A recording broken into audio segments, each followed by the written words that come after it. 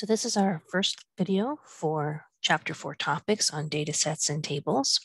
And we're going to look at a couple of different things for large data sets. Now, the one I have here, the sheet that we're going to be working with, doesn't have a lot of information in it. There's only 24 rows of data in it with one header row. But you know, we have to anticipate that maybe we have instead of 20, 24 rows of data, maybe we have 250,000 rows of data or 25,000 or just 250. So we need different ways to navigate around our sheets in order to be able to um, be like say in those higher rows or higher columns, but still have an understanding of what we're looking at. So one of the ways we can do that is by taking a look at views. So going to our view tab and taking a look at freeze panes.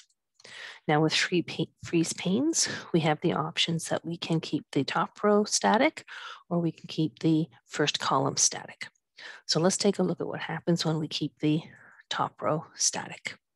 So I'm just going to come out, take away the zooming a little bit, and I'm also going to get rid of the grid lines because here you can see that there's a horizontal line there.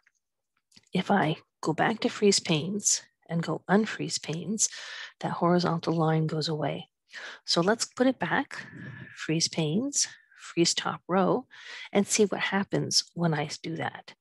So now when I scroll down, that top row, row one, the top row, stays static. When I cursor to the right or cursor to the left, again, we can see the row one. If I go back to freeze panes and go to unfreeze panes and then reselect it, but go freeze first column, and you can see here from the little diagrams that are beside the um, descriptions, freeze first column will keep the first column visible while scrolling through the rest of the worksheet. So if I do that, you can see now I have a vertical line showing up and if I cursor up and down, nothing seems to have changed. But now if I cursor to the right, that column A is always visible. Okay, so if we wanted to um, freeze just the first column or freeze the first row, we could use the top row or first column options. And I'm just gonna unlock that for now. What we would typically like to do though, is freeze maybe certain rows and certain columns. So if I come here to A2 and I go into freeze panes and freeze panes, notice how again, the row one is static, but no column is static. So something that we have to do if we want certain columns and rows to freeze, we're going to have to be very careful for where we are in our spreadsheet. So for example, if I put my cursor in B2 and go again, freeze panes. So keep rows and columns visible while the rest of the worksheet scrolls. And notice here how it says based on current selection. So again, in the diagram, you can see the little dark blue square is the current active cell and all the rows above it and all the columns to the left of it will remain visible. So now when I go freeze panes, you can see I've got that vertical line showing that a column has been frozen and the horizontal line showing that a row has been frozen. So when I hmm. cursor down, I can see row one all the time. And then if I cursor across, I still see row one, but my columns do move over, but the column I can always see is row A. And I'll just go hmm. control home to come back. Now, something very important when we're doing this type of freezing panes so let's unfreeze them for right now. And let's take a look at maybe inserting some lines. And we'll put a couple more lines in here. And I'll just put a uh, maybe heading, free data. And maybe we'll put here today's date. Okay, and we'll change this. Maybe we'll give it a, actually we'll do this across and we'll give that a heading one formatting. Now, say I wanted to also see rows one to five and then freeze everything from one to five plus the header row, row six. If I put my cursor in the active cell A7 and go back to view, freeze panes and now freeze panes, you can see here that now rows one to six are all frozen because that's the active cell that I was in, and there's more than just the header row above it. Something a little different, if I unfreeze that now, if I cursor down, so maybe I can just see from row three down, and I'm in the same cell, A7, freeze panes, freeze panes. Well, the same thing happens. You know, rows six, five, four, and three are there. But if I try to cursor back to see rows one and two, they're not visible. So one of the things we have to be aware of is that if we do want all rows one up until where we froze, and if we want all of those visible, we're going to have to make sure, so let's go unfreeze panes, that we can see them before we activate the freeze panes. So again, if I'm in A7, I can see rows one to six above it, freeze panes, freeze panes. Now I can see that rows one to six are all frozen, but one to five are visible because they were visible when I did my freezing panes. Now, that was if we just had the um, row that we were interested in. Say, for example, and let's take off our freeze panes. Say, for example, we wanted to see everything, the columns A and B, we wanted those always visible, and we wanted the row six and under always visible. So again, make sure that you can see them. Put our cursor in C7 and now go freeze panes and freeze panes. And now notice we have that vertical line and the horizontal line. So if I scroll down, I can mm-hmm. still see rows one to one to six. And if I scroll across, I can still see rows one to six. And I also can still see columns A and B. So these are just different little features that we can use in order to be able to navigate and be able to scroll down and across to be able to see and understand the context of our data. So I'm just going to unfreeze the panes there. Now, other things that we might want to be able to do for a large data set is for our printing of it. And for printing, one of the easiest ways to do that, and again, it's under the View tab, or we could look at the icons on the bottom right, is go to the page break preview. And Excel comes up with an idea or with a, a um, layout that anticipates, okay, this looks like the layout that would work for you. Now, this whole sort of white highlighted area, that's our selected range. And we have here, because that's all our information in our sheet. So it sort of automatically picks that up for us. If I go over to page layout, we can see here that we have print area. And here I can set my print area or clear my print area. So say, for example, I just wanted to print maybe this page one. I could come here and go print area and say, well, set that as the print area. Now you'll notice everything else here is darkened. And if I just click on the page or even outside it, you can see that that's the only print area.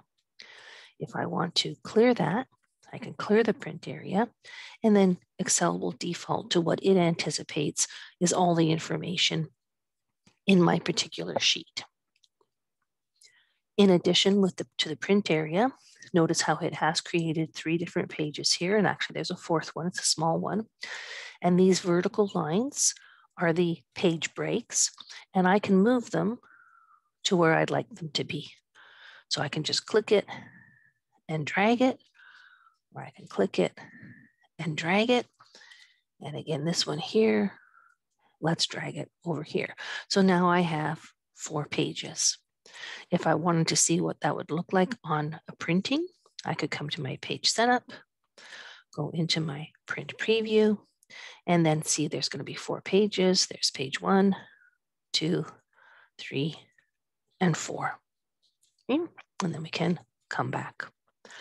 I can also um, move my pages, let's say down here, I could pull this up, and that's another way that I can set my print area by sort of dragging the pages to where I want them to be. I'm just going to undo that, and I'm going to say, okay, I'd like an actual page break to show up somewhere around here. So again, in our page layout tab, we can go to breaks, and I can insert a page break. And notice the page break shows up above the row cell that I was at. I was in A17 and the page break got put above it. And same type of thing, I can drag that break to wherever I'd like it. And now instead of the four pages, I've got eight. I could maybe, I want to come here to the D6 and I could insert another page break. And now I've got a vertical one. And now instead of the eight, now I've got a couple more pages because I've split this one into two. And it shows you the number. So if it was going to print this, it would print it starting at page one, then down to two, three, then over, four, five, six, etc. as we go across. Now I'm going to take rid of or get rid of that last one. I could have come up here and I could remove all of the page break that I just did, or I could go breaks and reset all mm-hmm. page breaks and then comes back to what Excel thinks is the logical reasoning behind it. And again, I'm just going to fix things up a little bit. We'll put the page break there. Let's put one here. And let's put one here. Okay. Other things that I can do, same way we did, like say with the freezing panes, if I want certain rows to repeat at the top, I can print titles or if I want certain columns to repeat on the left, I can print titles. So I can go to print titles. It opens up my page setup window. And on the sheet here, we have rows to repeat at top. So let's pick these six and then columns to repeat at the left. Let's pick columns A and B. And notice here, this was the page order of printing down and then over. So remember we had the one, two, three, four, etc. We could switch that to over and then down, okay? So whichever makes sense to you. It's good practice though to check your print preview. And we can see here now, well now I have the seven pages. So there's, notice how the rows are all repeating and columns A and B are repeating. Okay? And I'll just come back here. Something else that you can notice when in this print preview, you also have access to page setup. And we can see that the same page setup window comes. So I'll just cancel out of that for now and we'll get out of our printing. Notice when I did do that print preview though, it sort of changed things around a little bit. It's saying that, you know, we have these different symbols here for the dotted line and the solid line for page breaks. The dotted lines are the ones that Excel has automatically entered. The solid lines are the ones that I've put in. So for example, I could take this one and drag it over. So now it's solid because I've manually inserted that. Same thing here. Maybe I do that and maybe I do that. Okay, and we can see here that the mm-hmm. pages are rough are different sizes for what I've done. So maybe, you know, we have an idea that we want five columns on each page. So there's our five, maybe this last mm-hmm. one has to be mm-hmm. six. So, you know, we can sort of see that there's slight differences. Notice as I play around with the different scales, if I move this to mm-hmm. be very larger, notice how the scale up here changed to 61% because Excel is basically picking up that I want this more information showing up on a single mm-hmm. page. So it's making it smaller. If I bring it back to those five columns, we've got five here, we've got six there. So let's go five. Notice it's still at the 61. And let's maybe just for mm-hmm. fun, let's insert a page break here. And it's still saying 61% scaling will hmm. fit on all of these. So the scaling is the um, stretching or string or shrinking to allow of the information to allow it to fit on a particular size of paper. I'm going to get rid of some of this. I'm going to go back to get rid of that page break. I don't want that one up there. And I'll move this over and we'll see what happens. If I change this scaling Okay, this is where it doesn't look like anything's happened here. But if we go into our page setup and print preview, it's showing that there's four. So there's my four pages and my page setup. Notice how it changed the percentage. Okay, so it does a lot of things automatically for us. Other things that we can do within this page setup, we've looked at margins and orientation before. We can pick page, uh, page uh, paper size. We've looked at breaks now, and we also looked at the print titles. We can view our grid lines or print the grid lines. So let's take a look. If we choose all of those and go to page setup and print preview, notice how now the grid lines are showing and all the row and the column headings are showing. They're not typically things that we want to see. So, you know, we might just say view them, or I took the view off when I wanted to see the, um, the freeze pane horizontal and vertical lines. Other things that we can do in this, again, if we go to our page setup window, going through the different tabs, we can pick the orientation there or via the ribbon. We can do the scaling. We can make everything maybe fit to one page if we want, pick our different paper size, quality, etc. We can set margins. We have, if we have this option for setting margins, we can put in the numerical values. We'll look at the icon here in just a minute. But something else we can do is we can center our information on the page horizontally or vertically. So currently right now, the information will be justified to the top left-hand corner. If I go center horizontally, it moves it from the top left-hand corner into the center horizontally of the page. If I choose center vertically, now it moves it the center down. So if I sort of took the center across and then down, my data will be centered here. And I'm just mm-hmm. going to go okay for that. Up here, if we use the icon for margins, we have the option for custom settings we may have done before, normal margins, wide or narrow. And again, if we hit custom, we come back to that same window. We've taken a look at the header footer options. We've had to do this in chapter three for part of our assignments. So maybe I'll just add a, a footer for us here. I'll just call it val test. Then we'll put in the sheet name code and the file name code, go okay. Oh, I'm going to come back to that custom footer and I'm going to make the file name code in much smaller font so that it doesn't overlap. I'll go okay and I'll print preview. And now you can see the footer has shown up and my information now is centered vertically and horizontally. Let's come back to our page setup. Um, other things that we can do, let's bring our window. So we've done the page, the margins, and the header. We can take a look at the sheet. We can set our print area here if we like. We had set the print titles, so that's another option there. Again, we can decide to print the grid lines and row and column headings. We can change the order. And if we go into options, you know, it gives you a little bit more availability there, but you know, typically you don't take a look at that. If we go to the header and footer and options, Again, it's just bringing that to the PDF mm-hmm. properties. And we could go advanced. You know, we can pick some paper size there.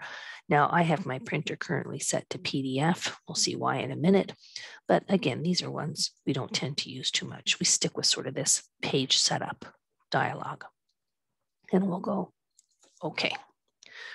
Now, something that's a good practice to do when you do want to print things out and you don't want to waste any paper, a nice little check you can do is mm. for number one, do this page break preview. But then also when you go to print, so if you go, you can do printing two ways, right? You can go page mm-hmm. setup, print here, or print preview and then print. Or you can just go file and print. And a handy thing to do is to, under your printer list, choose the print to PDF. It might be different on your computer, but you should have one option that's a default print to PDF. And when you print to PDF, it's actually going to create a file for you. So if I press print, it actually asks me for the um, file name that I want to give it. I'm just going to call this test2. It prints it. I can go into my file folder, Go to my documents. There's my test two. And now it opens it up because I saved it as a PDF. And now I can take a look and go, hmm, is this actually how I wanted it to look? And I can cycle through and make sure that my report is going to print correctly. So that's a good option to use when you want to, um, you know, verify that what you have set up in Excel and, you know, you've taken a look at it in the print preview and you sort of go, okay, look, it looks okay. You know, do one more check before you actually send it to a printer, print a PDF, check the PDF file, and then if everything looks fine, then switch to your um, actual printer and select print. Now we don't have to print for our course at all, but in the chapter four um, simulation training and simulation exam, they do ask you to hit the print button. It's just sort of printing into the ether, so to speak, because it's internal to the My Lab IT system. Okay, so you're not you are you're not actually physically printing anything. So that's our printing options. Now, this is going to be important for your courses, maybe not this semester, but excuse me, most likely next year when you're in different classes where you have to actually create and write reports. So I'm just going to go back to my normal view here. So back into the normal view, we're going to take a look now at some different options for different types of fill.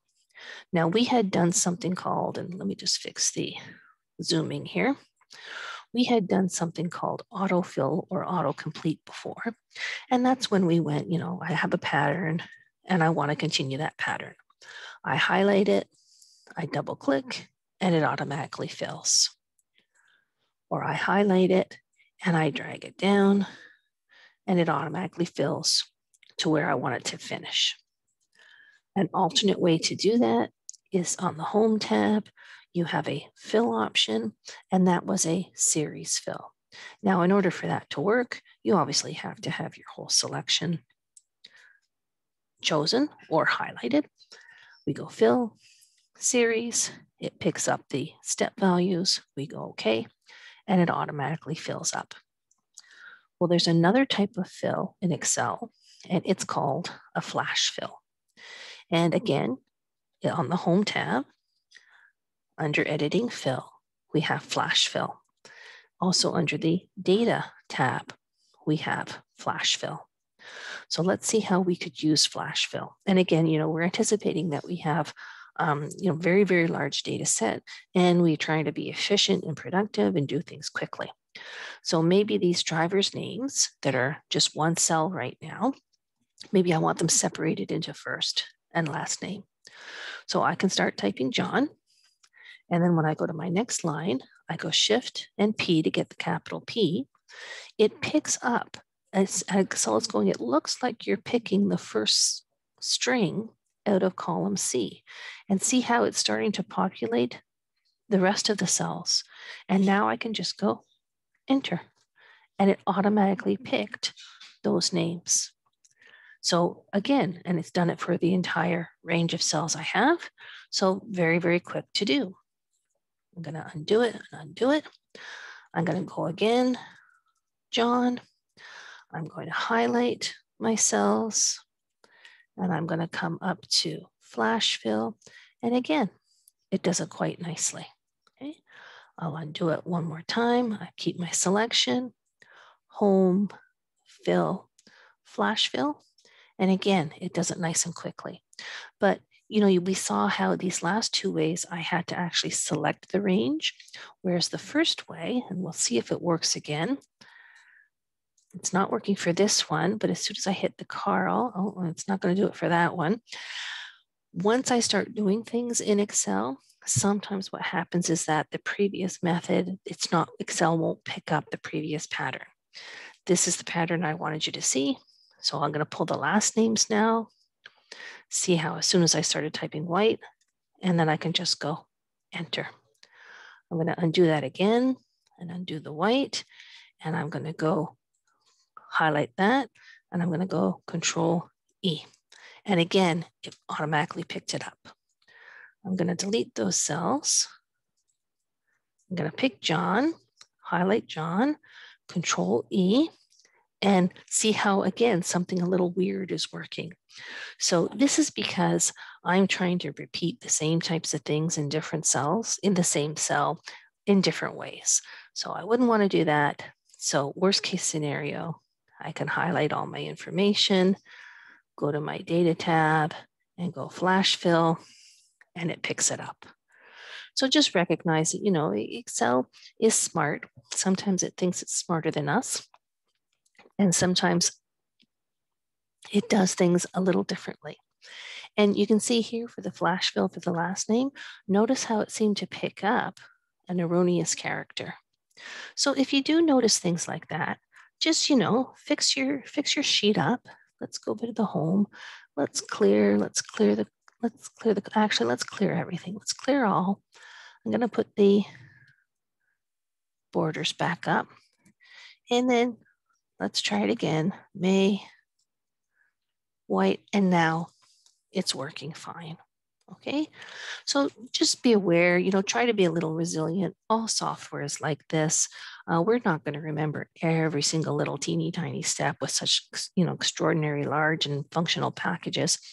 So if things don't work, you know, my go-to is, as I said up here, clear, clear everything, because maybe there's some type of code that I just haven't recognized and I haven't cleared it, and then try it again, and it works fine. So this is a common feature used, flash fill, when you say you maybe want to separate some strings.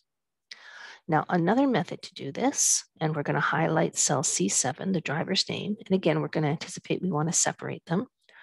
We can go up to the data tab and we can use this text to columns.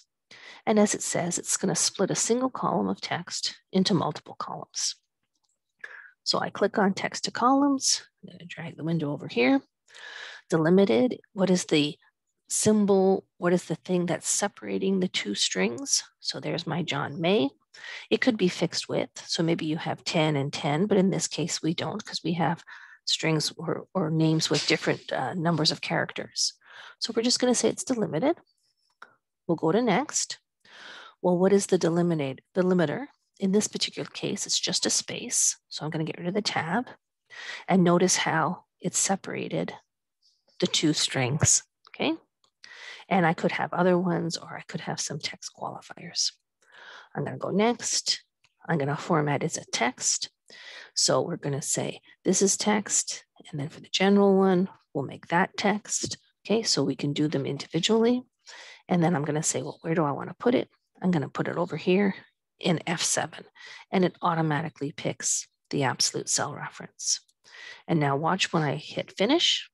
It says there's data there, but not to worry. We can just go okay because we can clearly see there's nothing there. We can go okay. And now it's separated the names. Now, if I wanted to do this again with the rest of my information, I could highlight them all. Again, text to columns, delimited, next, space, next, put it where we want it to be, starting in F8, go finish. There's no data there, so we can go okay, and it's done. So there might be instances, and often there are instances in business where maybe we've uh, inherited some databases or some Excel files from previous workers or owners that have information that's combined in one cell and we want it separated out. Okay, so those are two ways we can do it with the flash fill or the text to column. Now for our amounts, we've seen this before. That's just a formula where we can go equals and we can say the price times the number of items and equals. And we can just double click and the formula is copied down. I'm showing you some of these different things because when we start to do things in Excel's tables, we're going to be doing the similar type things, but in maybe slightly different ways and maybe more efficient ways. Now you can see here that I have some emails that I've tried to create it. So oftentimes we have information that we want to separate, like we did with the first name and last name. And other times there's going to be situations where we want to actually combine or join our information. So to create the email, I've tried to use what we call a text join function.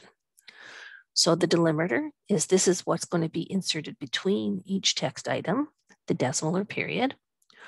We're going to ignore any empty cells. The text we want to add, this is the first one, and we're going to use C7 excuse me, to start with. And then we're going to add the at happy.ca. I'm just trying to make an email. And when we go OK, we can see that, well, it looks like an email, but I have an extra decimal and it's not showing up between the names.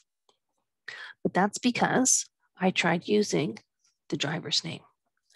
Let's take a look at doing it slightly differently. And this time I'm going to use the information in D and E columns where the names are separated. So let's take a look at the function. And we've got the delimiter I want to put in, the decimal. Ignore empty fields. Here's the first text, D8. There's the second text, E8, and then the at happy.ca. And again, we can see the preview of the result. And whether we look here or whether we go okay, we can see again the email hasn't worked out quite how we wanted. So if we wanted to do this, we'd have to do it in a much different way. We'll be able to do this, create an email in a nice, easy way in Excel tables. Let's take a look at our flash fill again. Let's try an example here and let's just say that we want to just copy the information from the destination. Now I could go equals and point to that cell, or I can just start typing. So there's Boston. And again, as soon as I hit N, so shift N to get the capital N, it's anticipating. It says, oh, it looks like you're pulling the information from destination. And I can just go, okay.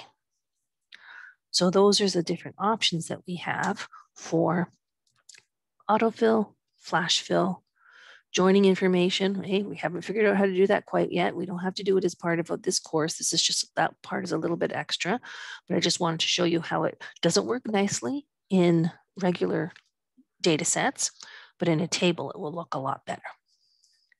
Now, the other thing that we want to take a look at for this particular chapter, this first section of our um, chapter four, is for sorting and filtering. So I'm going to highlight row six and I'm on the data tab. I'm going to click on filter and we get the little drop down arrows for filter. And remember, we had seen this before where maybe we wanted to look at a particular driver's name. So I filtered it for Carl. So now I'm just looking at Carl's information. And then maybe I wanted to look at just the microwaves for Carl. Okay, and he's only got one instance of that. So you can have a single filter you can have multiple filters. And again, the multiple filters will filter subset on your first one. So I did driver's name first, and then we went to microwave. If I maybe change that order, so bring everything back, so undo the filters. Let's do it this way. Let's go just microwaves starting. So filtering on items first, and then on Carl. See how we get the same result. Okay.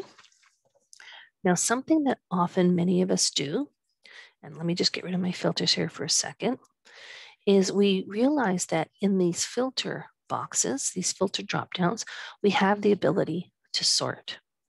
So I'm going to sort A to Z on the driver's name. So now all of Carl's stuff is together, etc. But now if I come over to item and I go sort A to Z on item, watch what happens to the driver's name.